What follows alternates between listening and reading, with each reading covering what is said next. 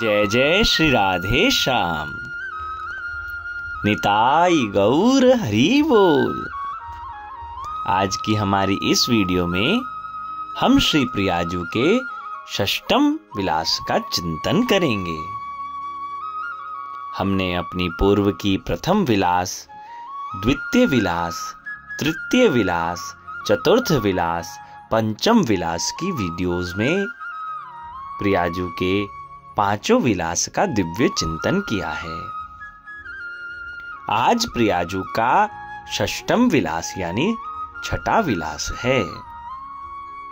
हम सुने हैं, प्रथम दिवस जीव लौकिक वैदिक आवरण में हुए और वाही सो प्रभु प्रभु के सन्मुख होता है। फिर द्वितीय विलास में जीव को सूर्य को प्रकाश, भगवत कृपा जल को पोषण यानी सत्संग और भूमि की हूफ यानी आत्मचिंतन की प्राप्ति होती है। तीसरे दिन जीव भगवत रसो फूल जात है। चौथे दिवस जीव में भगवत प्रेम को कोटा फूटत है। पंचम दिवस व कोटा में दो हरी पत्ती प्रकटत हैं, यानी कि स्वभाव हरित होत है। और अब छठे दिन, जो जो का रोपण हुआ था नवरात्र में अब छठे दिन क्या विशेषता है? अब छठे दिन जीव लोक वेद के आवरण को उठाई उठा के भगवत प्राप्ति को तत्पर हो जाता है। आइए हम प्रियाजू के षष्टम विलास का चिंतन करें। आज की मुख्य सखी हैं श्री भामा सखी। आज लीला स्थली है श्री गोवर्धन वन। आज के वस्त्र गुलाबी रंग के हैं। आज के आभूषण नवरत्न हैं। आज की सामग्री, भोग सामग्री, मालपुआ सिकोरी है। तो आइए हम दिव्य उस षष्टम विलास का चिंतन करें। छठो विलास, कियो श्यामाजू। गोधन बन को चली भामाजू।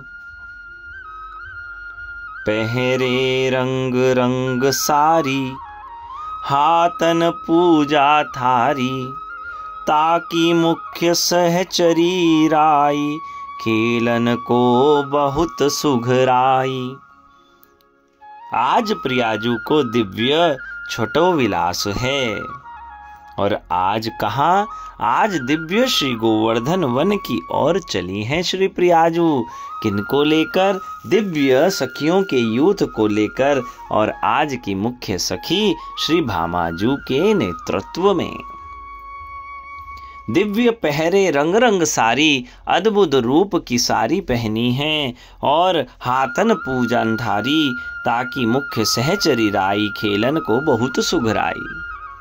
अत्यंत हर्ष में भरी हुई या दिव्य विलास को खेल खेलने के ताई सब सखियाँ भामाजू को अग्रगणी कर कर श्री प्रियाजू के सहित चल रही हैं। चली बन बन बिहसी सुंदरी हार कंकण जगमगे आय मंदिर पूज देवी भाग। आय मंदिर पूज देवी भोग शिखरन सगमगे सब दिव्य रूप में सुंदर श्रृंगार कर कर आनंद में भरती हुई हार कंकन पहनकर जिनके कंकन से अद्भुत उनकी शोभा ऐसे जगमगा रहे हैं, मानो कि किसी घनघोर काले मेघ में कोई बिजुली चमक रही हो। दिव्य रूप में आई हैं सब सखियाँ देवी के मंदिर में और आकर दिव्य रूप में देवी की अर्चना करी है। दिव्य देवी को दिव्य रूप में भोग अर्पण करे हैं और खूब आनंद मंगल गीत गाए हैं। तास में प्रभु आए पधारे, कोटिक मन मथ मोहि। निरख सखियन कमल मुख मानो, निधन धन जो सोहि। उसी समय दिव्य रूप में दिव्य श्री मदन मोहन लाल जो वहाँ सखियन के मध्य में आए पधारे हैं और वहाँ की शोभा को देखकर करोड़ों करोड़ों कामदेव भी उनके ऊपर मोहित हो रहे हैं।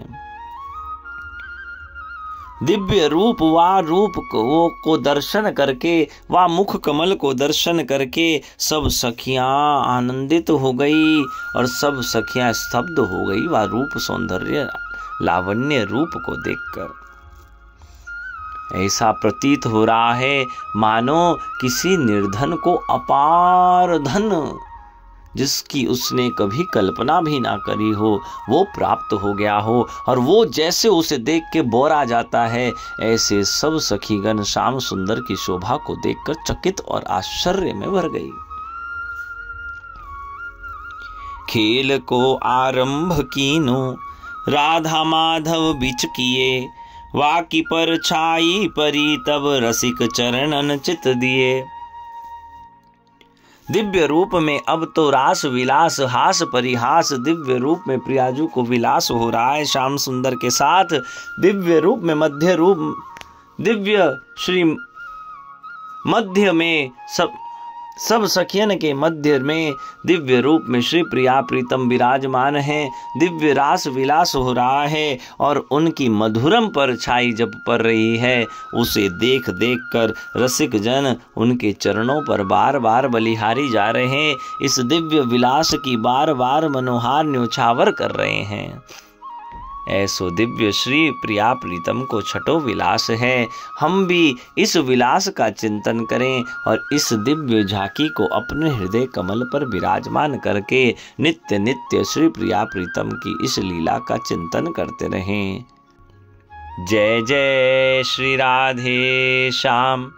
निताई गौर हरि बोल।